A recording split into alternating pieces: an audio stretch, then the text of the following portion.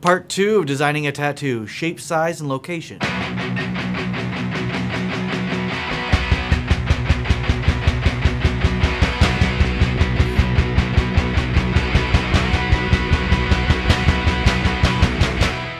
Size versus location tattoos. Welcome back, guys. My name is Westley. I've been tattooing since 2006 here in Des Moines, Iowa. For those of you just joining us, this is our tattoo series where we talk about tattoo questions that you, as a client thinking about getting a tattoo, might have on your mind. So today, with um, shape versus location tattoos, is kind of a question people get. Um, one of the things you need to consider when getting a tattoo is the location you're thinking about putting it.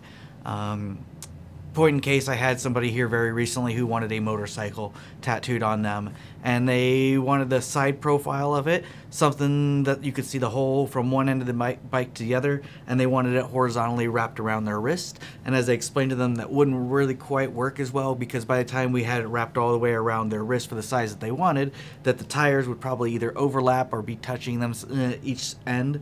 Um, so we ended up turning it 90 degrees on their arm where a much more elongated position you could that person could show it off a whole lot easier versus twisting their arm. Um, so when yeah when thinking about your locations you need to think about basically your two shapes that we kind of work with is your more circular shapes or versus an oval shape oval shapes are going to be a lot more easily seen from on one face of your body, especially if it's a limb, um, where the circular shapes are kind of saved for, you know, maybe the shoulder cap or the side of the hip or um, sides of the shoulders, things like that. Um, again, all of these shapes can be kind of warped and twisted a little bit depending on the imagery that you're working with. But for the most part, kind of keeping in mind that horizontal pieces versus vertical pieces um, and how they correlate to the position on your body. Uh, everything generally should be flowing downward so that it's when you're standing normal, everything's very easily readable and visible.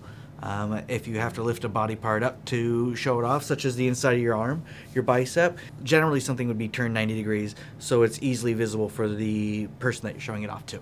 Um, as far as size correlates with those shapes, you it's generally a good idea to if you're thinking about a specific area of your body, such as your arm or your shoulder cap, um, any a pack maybe.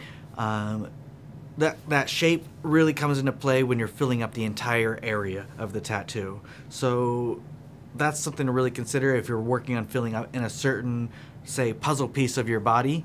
Um, that's a good way that we would like to look at it. Um, it's definitely something we enjoy doing is trying to fill up that entire edge and think about the shape so what we can do around the edges is a big deal for what we can do with your tattoo also. So um, again, all of this comes back to your design and the artist that you're working with.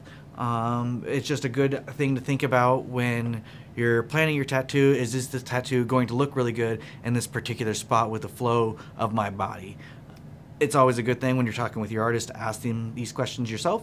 And I hope some of this information is helpful for you guys when you do sit down and think about some of these tattoos. So uh, I hope this video was helpful for you guys. Please give us a like and subscribe.